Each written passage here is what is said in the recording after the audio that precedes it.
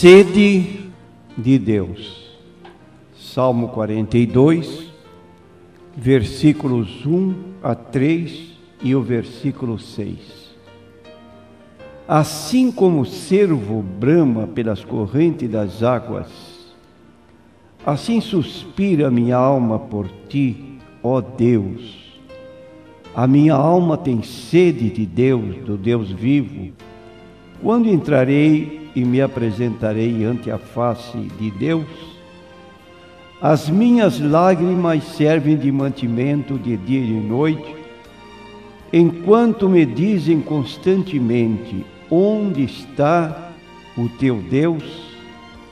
Ó oh, meu Deus, dentro de mim a minha alma está abatida. Por isso lembro-me de ti desde a terra do Jordão desde os Hermonitas, desde o pequeno monte.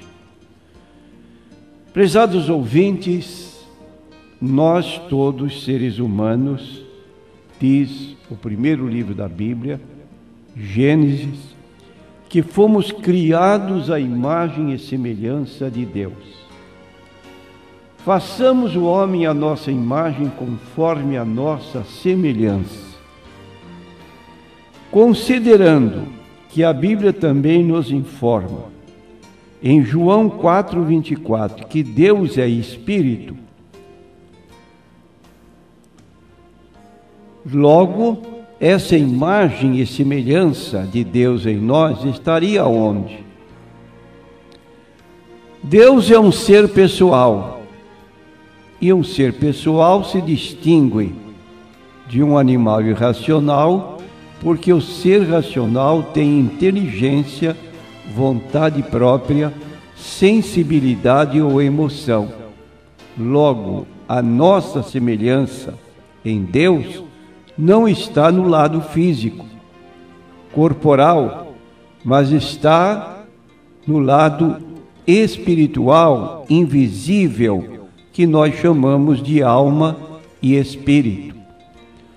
O apóstolo Paulo, escrevendo sobre a natureza humana, mostra que o nosso corpo é sujeito à falibilidade, enquanto nossa alma e espírito, que ele dá o título de homem interior, não sofre essa esse desgaste à medida que os anos passam.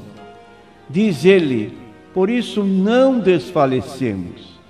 Mas ainda que o nosso homem exterior se corrompa, falando do corpo, o interior, alma e espírito, contudo, se renovam de dia em dia.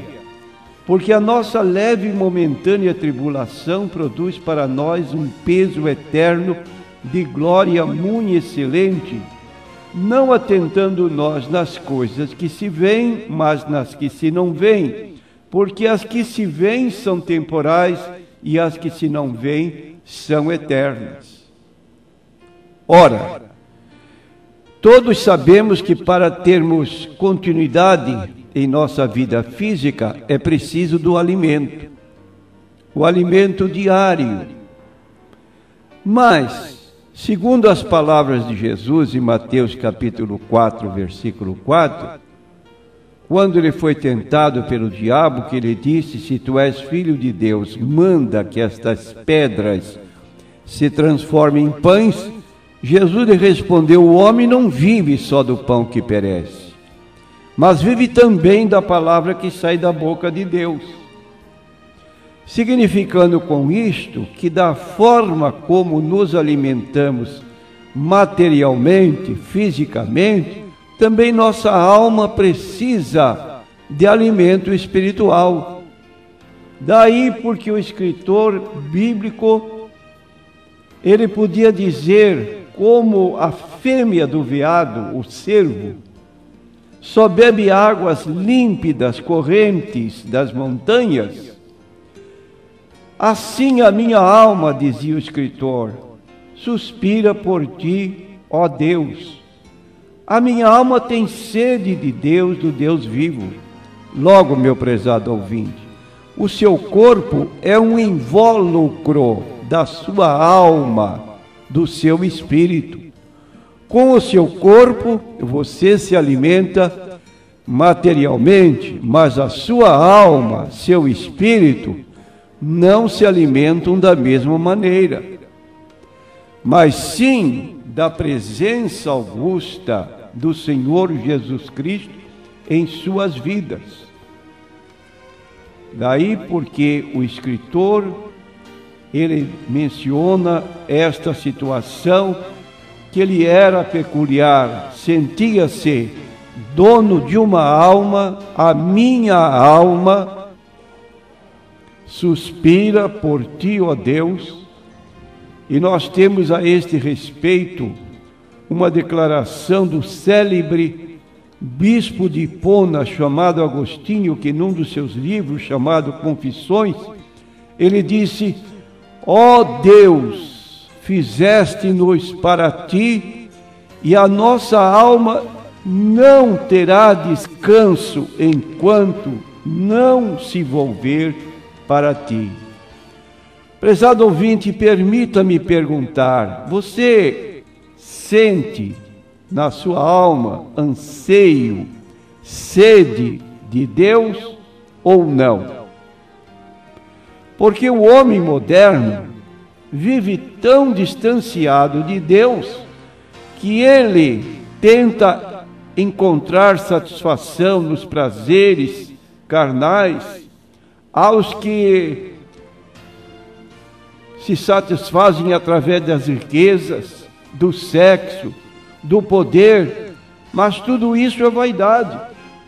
E quando o homem então se afasta de Deus, procurando preencher esse vazio da sua alma com coisas seculares, há uma tragédia na vida do homem que é apontada pelo apóstolo Paulo na sua carta aos Romanos, no capítulo 1. Ele diz que existem pessoas que não estão ligando. Como não se importaram de ter conhecimento de Deus, assim Deus os entregou a um sentimento perverso para fazerem coisas que não convém. Logo, o anseio da alma por Deus, quando é abafado e trocado por coisas seculares, materiais, eu disse há uma tragédia, porque a palavra de Deus assim aponta.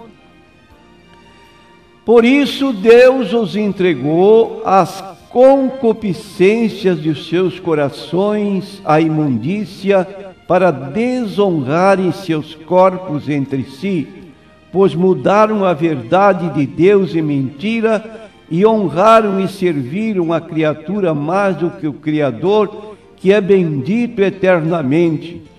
Por isso Deus os abandonou às paixões infames, porque até as suas mulheres mudaram o uso natural no contrário à natureza e semelhantemente também os homens, deixando o uso natural da mulher, se inflamaram em sua sensualidade, uns para com os outros homens, com homens cometendo torpeza e recebendo em si mesmos a recompensa que convinha ao seu erro.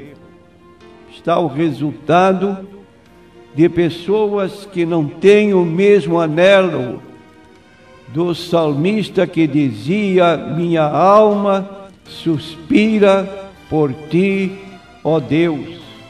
O mesmo escritor, no Salmo 63, versículos 1 e 2, ele diz: Ó Deus, tu és o meu Deus de madrugada te buscarei, a minha alma tem sede de ti, a minha carne te deseja muito em uma terra seca e cansada, onde não há água. Quando me lembrar de ti na minha cama e meditar em ti nas vigílias da noite, porque tu tens sido meu auxílio, então a sombra das tuas asas me regozijarei, a minha alma te segue de perto. E aqui então está o anelo de Davi no Salmo 63, falando desta maneira que nós acabamos de ler. E realmente nós encontramos em Jesus Cristo aquilo que só Ele pode dar, porque, como lemos, a sede da alma, e quem pode estancar esta sede que nossa alma tem ou satisfazer este anseio da nossa alma? No capítulo 4 de João, nós temos um diálogo de Jesus com uma mulher conhecida como a mulher samaritana. Diz o texto bíblico no capítulo 4 de João que Jesus, cansado do caminho, sentou-se à beira do poço onde aquela mulher fora tirar água. E então, aproximando-se a mulher, Jesus ele disse: Dá-me de beber. E ela disse: Como sendo tu judeu, falas a mim que sou mulher samaritana? E Jesus respondeu: Olha, se tu soubesses o que fala contigo, tu lhe pedirias e ele te daria água viva.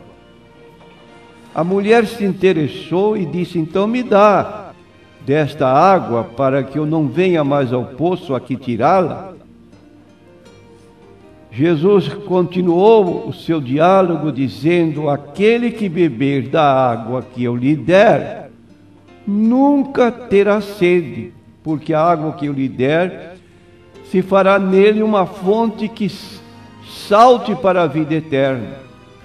Então aqui está Jesus conversando com a mulher falando da água material, física, e ela entendendo nesse sentido, e Jesus falando de uma água que se descedenta a sede da nossa alma.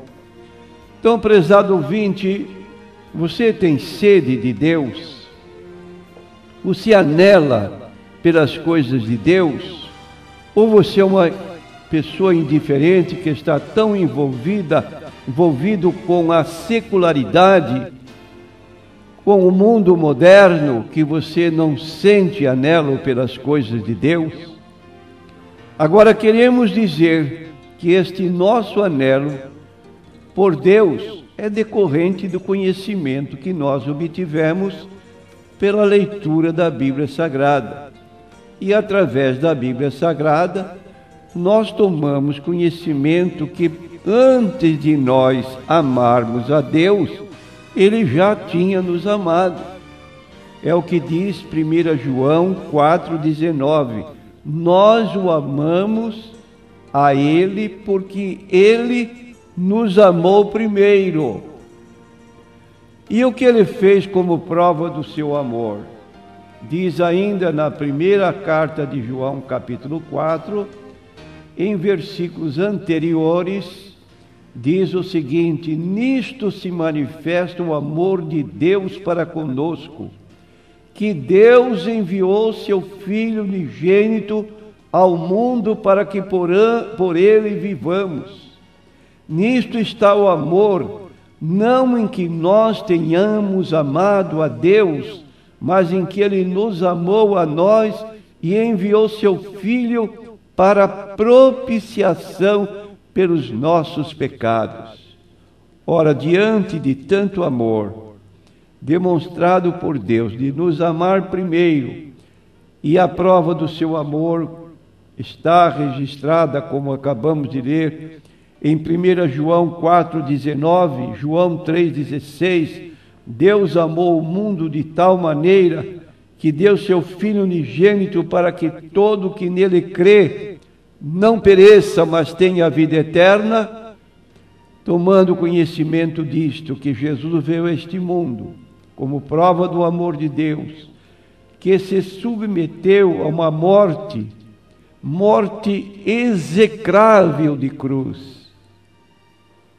Foi ali motejado, zombado, escarnecido, mas ele estava ali morrendo por nós para nos remir dos nossos pecados, porque o pecado separa o homem de Deus, afasta o homem de Deus, entenebrece o entendimento.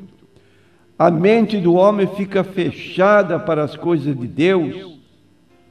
Ele não pode nem ouvir a palavra de Deus, porque ele causa repugnância, lhe causa desprezo, por causa do seu afastamento de Deus. E agora então, quando tomamos conhecimento e aceitamos a Jesus como Salvador, nós passamos a ter intimidade com Deus. Nós passamos a ter comunhão, e essa comunhão com Deus é que se refere o escritor do Salmo 42, que sua alma tinha anseio por Deus. Diz o apóstolo João na sua primeira carta, capítulo 1, versículo 3: O que vimos e ouvimos, isso vos anunciamos, para que também tenhas comunhão conosco. E a nossa comunhão é com o Pai e com o seu Filho Jesus Cristo. Você precisa de comunhão com Deus. Seu pecado impede, mas removido o pecado pelo seu arrependimento e pela sua aceitação de Jesus como Salvador, você entra numa intimidade com Deus. E assim, mantendo esta comunhão, você vai sentir o anelo pela presença augusta de Deus na sua vida, da presença augusta de Jesus, da presença augusta do Espírito Santo, como Jesus falou: quem me ama será amado pelo meu Pai, e viremos e faremos nele morada. Diz mais o apóstolo Paulo: Não sabeis que o vosso corpo é o templo do Espírito Santo?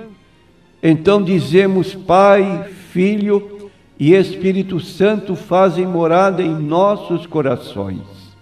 E assim nossa alma fica satisfeita com essa intimidade que mantemos com Deus através da oração, da leitura da Sua palavra, que constitui alimento para as nossas almas. Procure a Deus deixe a indiferença, declare como salmista, no Salmo 42, minha alma tem sede de ti, ó Deus. Amém.